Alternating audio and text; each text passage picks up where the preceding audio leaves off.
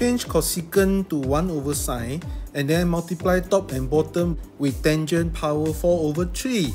And then we get the new i which is in much nicer format.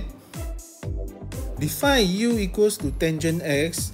From there we get dx equals to du divided by secant square x. And then we get the new limits in u as well which is 1 over square root of 3 and square root of 3. Replace everything into i.